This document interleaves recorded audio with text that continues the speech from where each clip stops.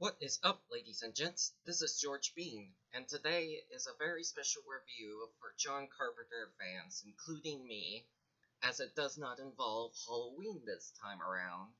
No, this time I am reviewing the 1982 masterpiece, uh, the sci-fi horror film, The Thing, of which uh, Carpenter had directed and starring Kurt Russell as MacReady. Upon its release on June the 25th of 1982, The Thing had surprisingly received a very negative critical reception, with many critics describing it as instant junk, a wretched mess. Even Roger Ebert described it as a great barf bag movie, and it was proposed as the most hated film of all time. Reviews had both praised the special effects achievements and criticized their visual repulsiveness, while others focused on poor characterization. And for its box office, the film had grossed up to $19 million, uh, ni- over $19 million in theaters. Ever since uh, it, but ever since it was released on home video and television, and thus over the, the past 35 years since its release, the Thing had received has received a massively growing cult following amongst movie movie buffs, having reappeared as one of the best science fiction or horror films ever made, and with many now considering it to be a, a as Carpenter's grand masterpiece and a massive influence among many filmmakers to come. The plot. The story follows the crew of an Antarctic scientific research outpost as it ends up discovering an alien organism that had been frozen in the ice for 100,000 years. But when the alien awakens from its hibernation, the crew discovers that, that it is a parasitic life form that can assimilate and then imitate its victims, thus leaving the crew in a growing state of paranoia who is over who is human and who is the thing, which would ultimately culminate in a battle of survival between the humans and the Thing. This film was actually based on a 1938 novella by John W. Campbell called, titled Who Goes There? And it, this film is also the second, the second attempt to adapt the novella to film. The first attempt was in 1951 with the sci-fi horror B-movie uh, titled The Thing from Another World, which was somewhat adapts the original novella, one huge difference being the portrayal of the titular monster, which in the 1951 film was like a vegetable like monster. Carpenter was a fan of the 1951 film and had even featured it in his film Halloween. There's one scene uh, where the film's title was displayed very prominently on a TV screen the main characters were watching in this film. And so when he had heard that Universal Pictures had was attempting for years to develop a remake of The Thing from Another World. He had signed on to direct it, and with the help of screenwriter Bill Lancaster, had written a screenplay that was more faithful to the original Who Goes There novella. And with that said, there are a few differences between this film and the novella. Like, for instance, in the novella, the expedition crew had comprised of 37 members, but this was reduced down to 12 in the film due to 30 to 37 being too excessive for audiences to follow with each having little screen time for characterization.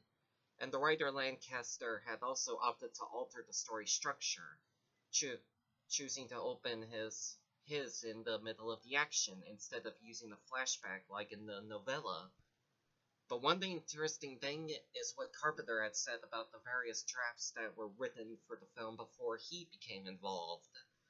He said that one draft, which was written by Logan's Run writer William F. Nolan, had went for a more invasion of the body snatchers approach, while another draft, written by Tobe Hooper and Kim Henkel, was set at least partially underwater and was described described as a Moby Dick like story in which the captain did battle with a large, non shapeshifting creature.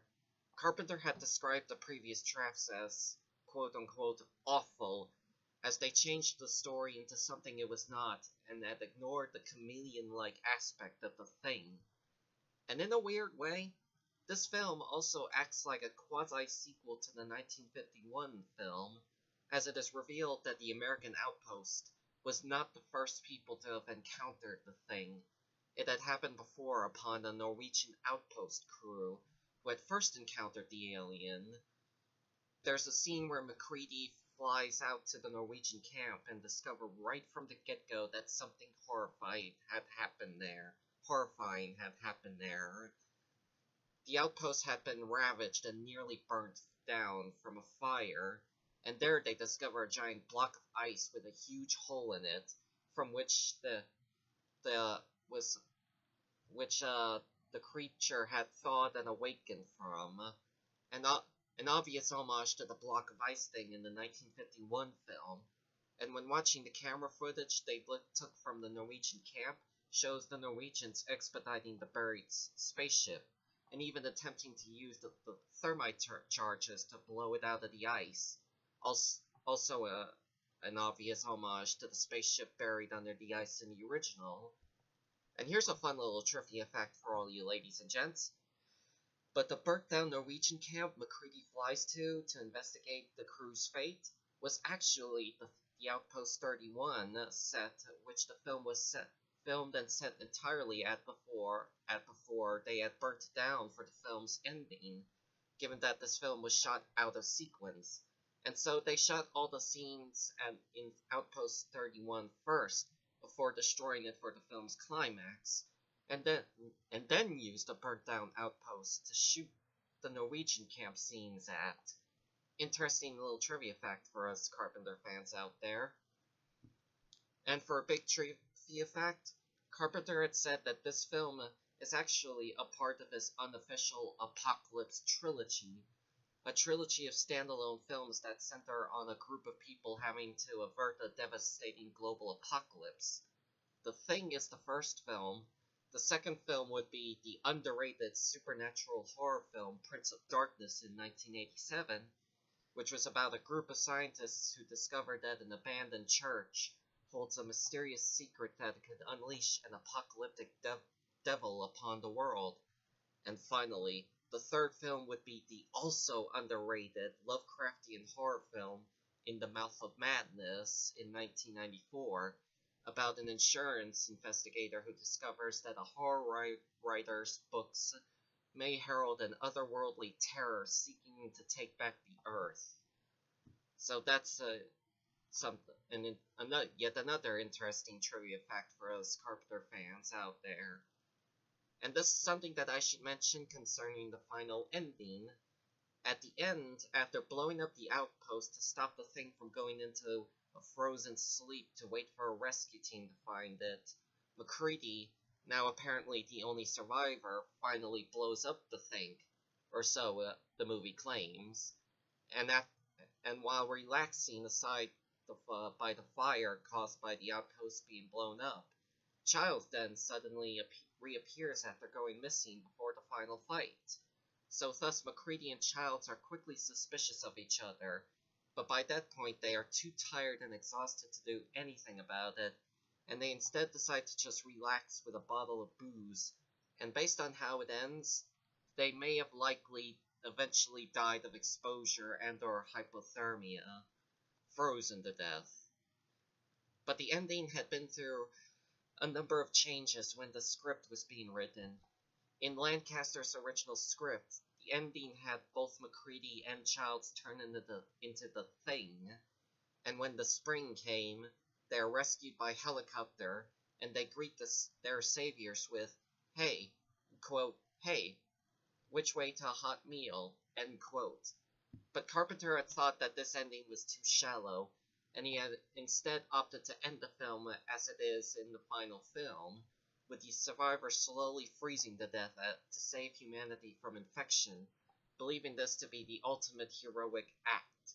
And so Lancaster wrote this ending, which eschews a Twilight Zone-like style twist or the destruction of the monster, as he wanted to instead have an ambiguous moment between the pair, of trust and mistrust, and fear fear and relief. And apparently, there have actually been a couple endings that have been filmed for this film. One ending had MacReady being found by the rescue team, and when given a blood test, is revealed to not be infected, which would have given the ending a much lesser, much more happier note. Another ending would have gone the same way it does now, but it would have then cut it to the morning after, and we then would see a dog running away. But it then stops and looks back at the now burnt down Outpost 31 before it resumes running away, possibly likely to set up a possible sequel. Now, to mention, there had been talks of doing a sequel to this film. In December 1991, Dark Horse Comics had published a comic book sequel to the 1982 film titled The Thing from Another World, published, written by uh, Chuck Pfarrer, and st starred MacReady at, as the hero in it. Pfarrer was reported to have pitched his comic tale to Universal as a sequel in the early 1990s, but this had never came to fruition. As you may know, Chuck Pfarrer would go on to uh, write the comic book uh, that would eventually become the 1998 sci-fi horror film Virus, which said starred Jamie Lee Curtis and Donald Sutherland. Thought you may know that for all you fans out there. And he had also written the 1993 action film Hard Target, which was directed by John Woo and starred Jean Claude Van Damme. But back to the sequel thing. In 1999, Carpenter had talked about doing a possible The Thing 2 based on Pfarrer's concept, having it set immediately after the first film, and have Kurt Russell and Keith David's characters have frostbite to hide their age. But this had ne ne also never materialized. But in 2002 would come a The Thing video game, which was structured as a standalone sequel to the 1982 film, focusing on a group of soldiers investigating the fate of Outpost 31 and discovering a conspiracy involving experimentations on the Thing organism to create a biological weapon out of it.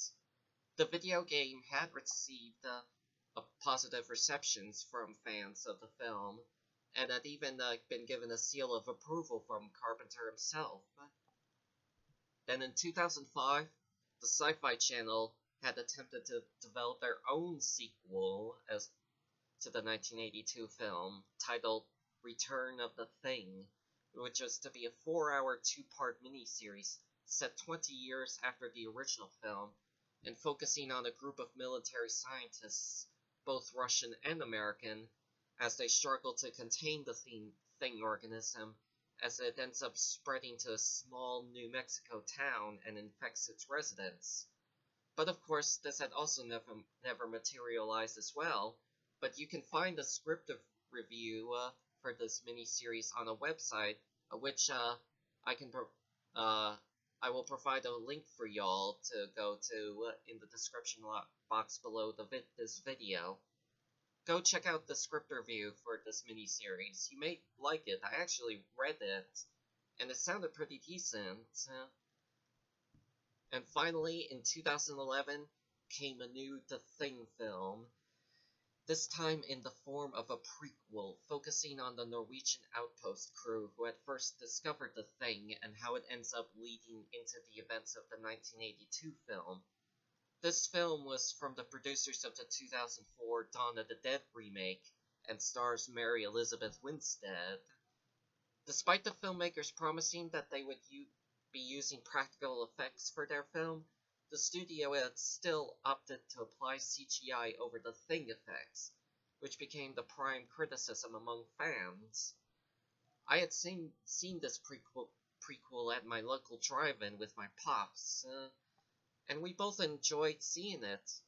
While it is not perfect and does not hold a candle to the 1982 film, and using CGI for the thing effects is a major complaint I also have but I do still enjoy the prequel. I'd sometimes used to watch the prequel and the 1982 film back to back in, back in the day. I could see why the prequel didn't do well at the box office, and that was mostly because of brand confusion based on improper marketing. The marketing had led many to presume that it would be a remake uh, of the Carpenter film, especially given that the prequel had, is also titled simply The Thing, having no subtitle to differentiate it from the 1982 film. I think if the prequel did have a subtitle to it, I think it would have helped a little bit for people to understand what the film was supposed to be, and that it was not a remake but who knows. But if you would ask me if I had ever had an idea on how I would like to see a sequel be done, in my version, I'd have it be set immediately where the Carpenter film had ended, have it be that MacReady and Childs are rescued and sent to the McMurdo station, and have it be set primar- entirely at the McMurdo station, where another thing outbreak ensues at. And I would also possibly have a human villain who seeks to obtain the thing organism and turn it into a biological weapon, given that the film is set in 1982 when the Cold War was still ongoing. But that is just probably just me. That's how I'd like to see a Thing sequel go, in my opinion.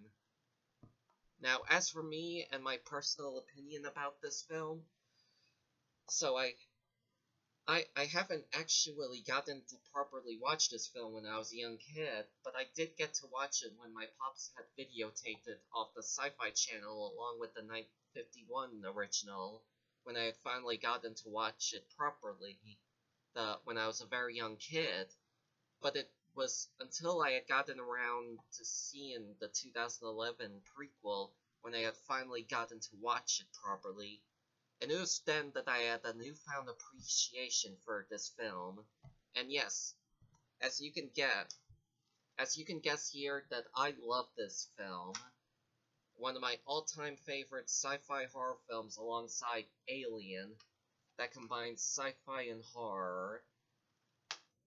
What I love about this film is how, while it is very much a sci-fi monster horror film, it also feels more like a whodunit paranoid thriller, as it makes you question whom to really trust out of this entire crew. You wonder who is human and who is the thing, and thus there's this sense of paranoia that ends up growing amongst the crew. It even had one of the crew mem members as being a big red herring. Carpenter was valid in his point when he said that when he read the Who Goes There novella, he had drawn parallels between it and Agatha Christie's mystery novel Ten Little Indians, or also titled And Then There Were None. And honestly, you could say that the thing could be described as Ten Little Indians meets Alien in a way. As for the cast, Kurt Russell was a great choice as Mc, as MacReady, as as he always is in every role he's in. I like how MacReady isn't seen as this sort of action hero. He's more like an everyman helicopter pilot who drinks out of boredom and plays computer chess, and is forced to have to deal with this alien organism terrorizing the outpost. He's somewhat similar to Kurt's other character Snake Plissken in Escape from New York, and maybe even his other role as Jack uh, uh, in Big Trouble in Little China, as all the characters uh, are not so heroic people who are pushed into big situations in the plot line. Keith David was fantastic as Childs. He plays the character as this sort of hothead. And finally, a black man that does that does not die in a horror movie. That's something I am glad to see. I enjoy Keith David in anything he's in. He was even good as uh, the Holy Man in Pitch Black. He would also go on to work with Carpenter again in the criminally underrated 1988 sci-fi action film They Live, which is a fucking awesome movie to watch in that Keith gets into a cool ass alleyway fight with Roddy Piper. Wilford Brimley was also good as Blair, the outpost biologist. He is depicted as the one person who immediately breaks down once he figures out how the thing works, and what would happen if it reaches civilization and goes nuts and the stable sabotages the outpost's radio systems and helicopters. You could say that he is sort of the human villain in this film, much like uh, one character in the 1951 film, Dr. Arthur Carrington, who is also like a human villain in that film. And even so, both characters threaten the other char- the other characters with a pistol. I remember Brimley in other films such as the 1985 sci-fi drama film Cocoon and the 1993 film adaptation of John Grisham's The Firm, which I had previously done a, a review for several months ago. And as for the rest of the cast, we've got Garry, the expedition commander, who is played by Donald Moffat. Next up is the physicist Nor- Norris, played by Charles Hallahan, whom I must mention had unfortunately passed away from a heart attack in 1997, much like his character does in this film.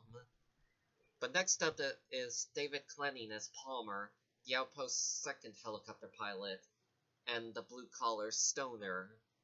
And we've also got Clark, played by Richard Masur, who is the dog handler, and is supposed to be the big red herring in the film.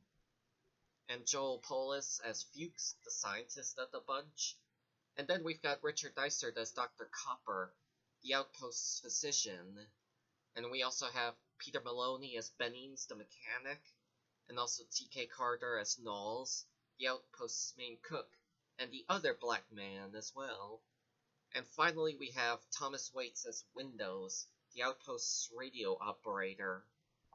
The camaraderie among the, the outpost crew was done very well. Each has their own distinct uh, voice within this 12 man crew. A similar feat also done well in other similar films like Alien and Predator. But has been failed to be replicated in later installments of each franchise of their own. But even the 2011 theme prequel has a little bit of uh, a little bit, a pretty little bit of decent camaraderie amongst the Norwegian crew in that film. But the biggest star of the film is the thing itself, through the perfect use of practical effects, all crafted amazingly by by the underrated special makeup effects artist Rob Bottin. His crafting the thing effects does does still stand the test of time to this day. They all look very grotesque and brutal as the human body suddenly rip themselves apart and transform into these horrible, abominable creatures the best ones possibly has to be the ones involving uh, Norris and Palmer. Bottin would also go on to do the makeup effects for the 1995 uh, David Fincher film Seven, but that sadly resorted to working on Adam Sandler comedies, with his last film, based on what I heard, his last film being the 2002 uh, Sandler film Mr. Deeds, before he decided to retire and go hermit. It's sad to see a great man go out with, with a whimper like that. But his effects for this film is still spectacular to watch. It's done amazingly. And it's just bright. And apparently, the light effects maestro Stan Winston had apparently helped out in the practical effects for the dog theme scene and this was when he was still relatively unknown before he'd strike gold with the Terminator. One thing I like is how it explains the threat of what would happen if the thing manages to reach civilization. When Blair analyzes the thing's biology, he calculates that if it reaches civilization, the entire world population would be infected within 27,000 hours from first contact. According to many, 20, 27,000 hours actually means three years. So that means that it would only take three years for the thing to infect the entire world. And it's, I wouldn't blame him, blame Blair, I wouldn't blame Blair to break that have a breakdown when real knowing this fact. Three years, damn. What I like about this film is how many people call this film a remake of the 1951 film, but I wouldn't exactly call it a remake.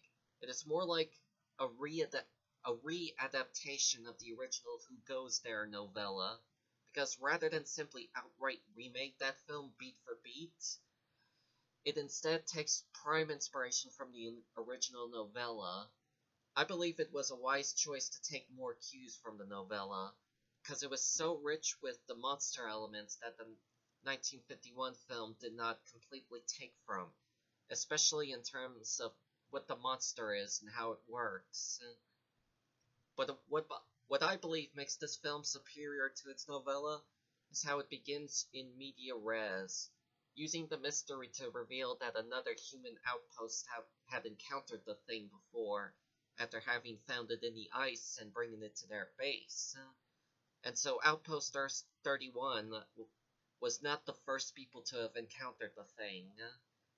After attacking the, the Norwegian camp, the thing, in the form of a dog, runs across the ice and finding Outpost 31, all the while being chased by two Norwegians in a helicopter who are trying to shoot and kill it.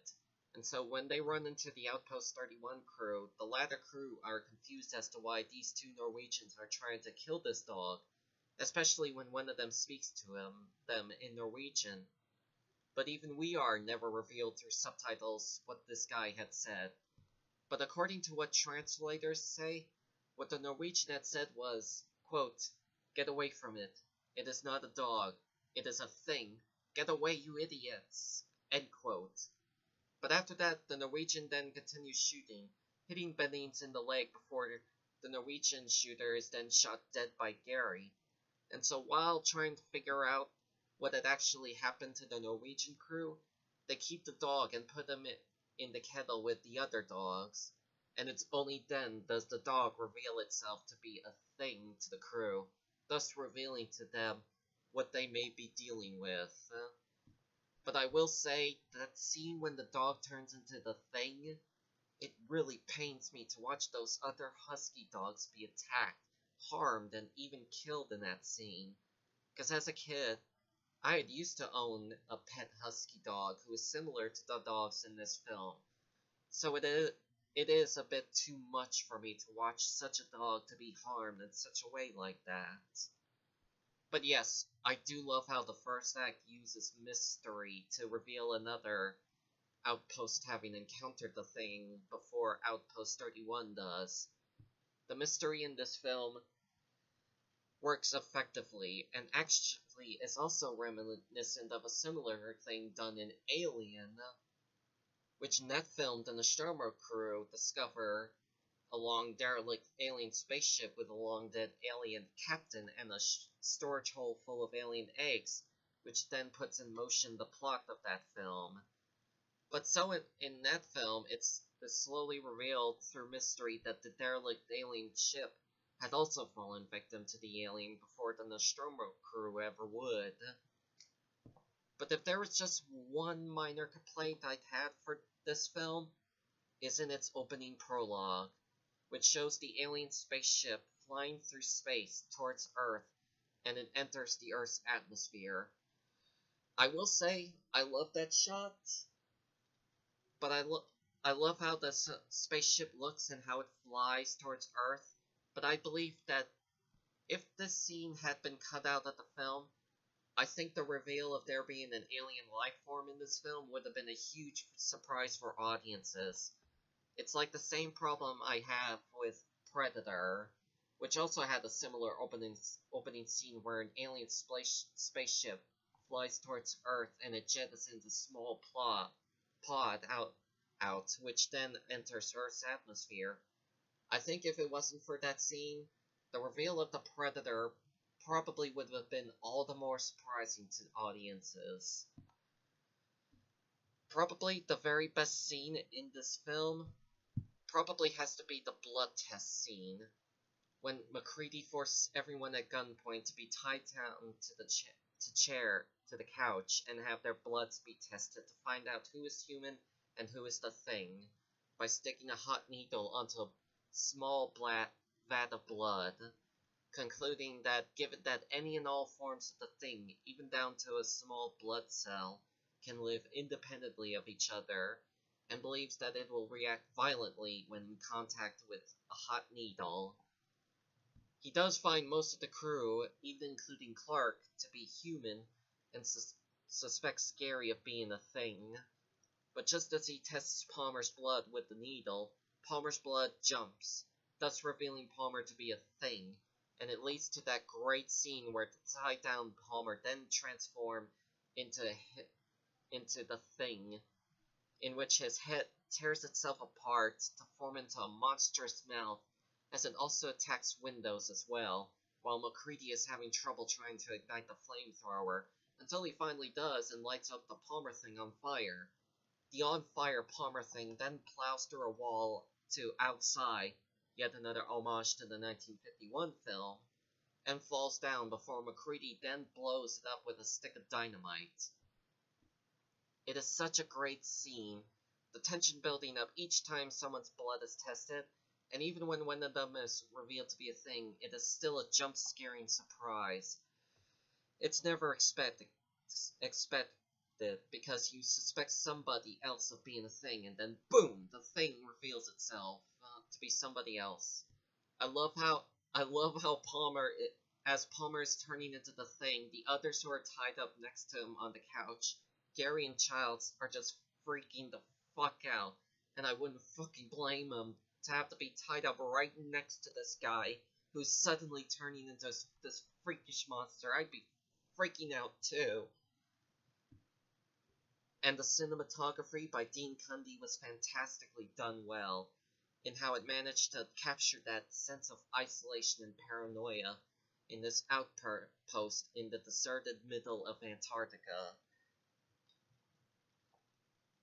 Dean Cundey had collaborated with Carpenter since Halloween in 1978 up until Big Trouble in Little China in 1985. But he is also well-known uh, as the cinematographer on such films as Back to the Future, Hook, Jurassic Park, and Apollo 13. But this is so also something that I had just learned about that uh, recently that has deeply shocked me now. But it turns out that he was that he had directed Honey We Shrunk Ourselves in 1997. It's shocking that he had directed that. But it is also truly sad to me that when you see his filmography now, he was also cinematographer on that shitty Adam Sandler movie, Jack and Jill. It's like, what happened to you, Dean?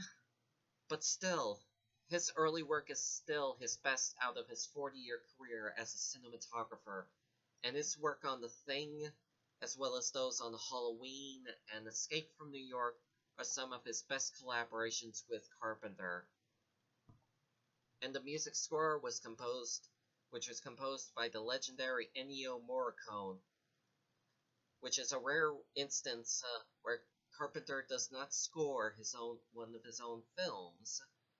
Morricone was more notable for scoring western western films, including Sergio Leone's Dollars trilogy, which starred Clint Eastwood as the man with no name.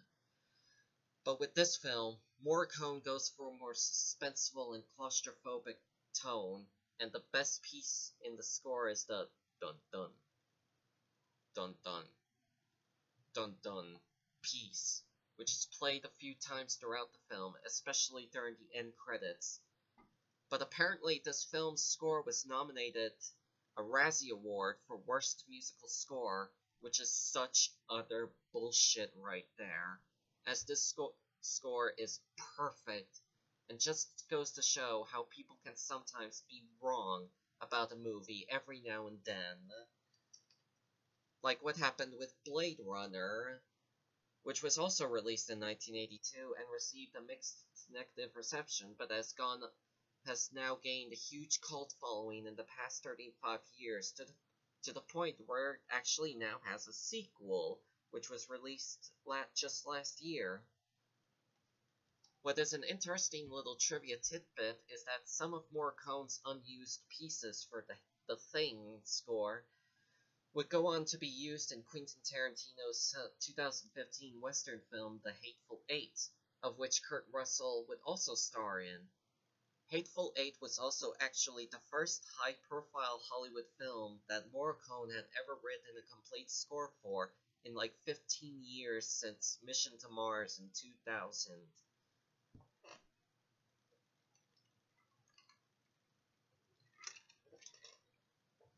And to mention, what I do is, I usually love to watch both Alien and The Thing as like a sort of sci-fi monster double feature, as both films are sort of similar to each other. A blue-collar crew trapped in a small claustrophobic location with a hostile virus-like alien organism that is trying to kill them. In Alien, it is set on a spaceship, while in The Thing, it is set in an Antarctic outpost. So yeah, the I'd recommend watching Alien and The Thing back to back one night. And I believe that you could maybe even watch the two films along with the 1989 underwater sci-fi horror film Leviathan, which starred RoboCop himself, Peter Weller, which is extremely similar to Alien and The Thing, except it happens to be set in an underwater facility. So yeah, I'd recommend y'all to consider possibly doing that on one night when you get a chance. But to say, it is a crying shame that this film had gotten a negative reception when it was released in theaters. Many factors have been cited for its reception in box office one being that audiences had rejected it for its nihilistic, depressing viewpoint at a time when the US was in the midst of a recession. Another more major factor was that it was facing big competition in the summertime. It was released just two weeks after the release of the more critically and commercially successful film E.T. the Extraterrestrial which was a more family friendly film offering a more optimistic take on alien visitation.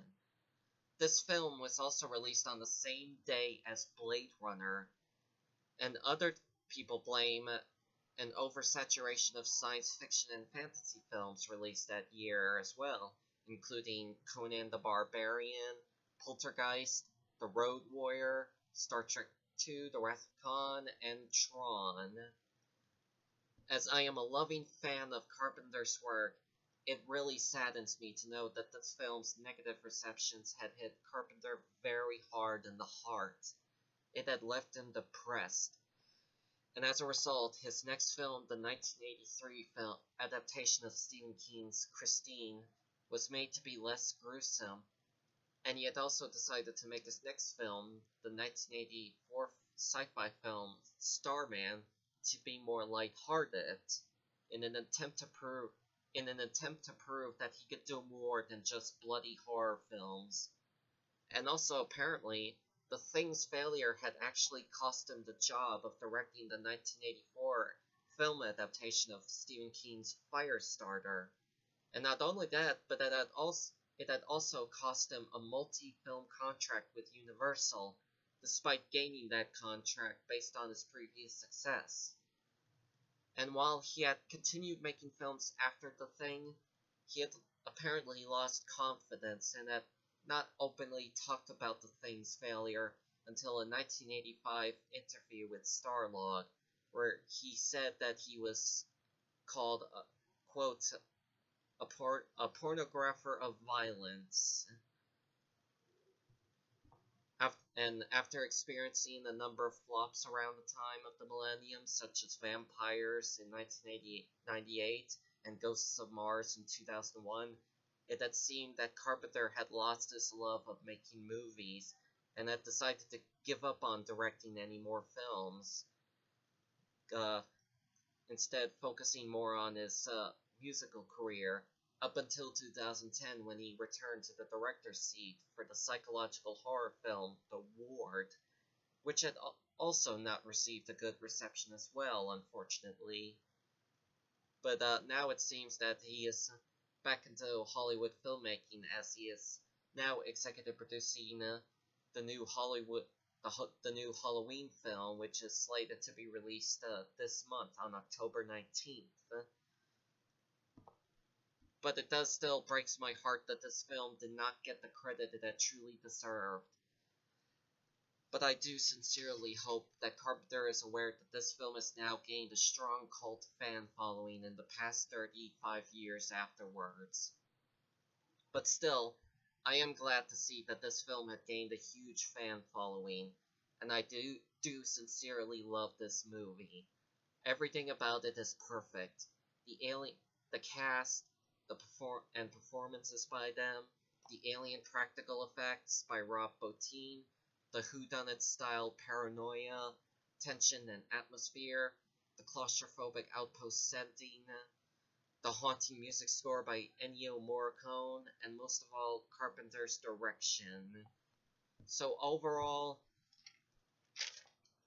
overall, I will happily give The Thing a rating of 9.5 stars out of 10, because it is a very effective sci-fi monster paranoid thriller with enough paranoia and tension to keep you on the edge throughout, with interesting characters led by a great cast to enjoy watching and how they in, and how they deal with the thing situation.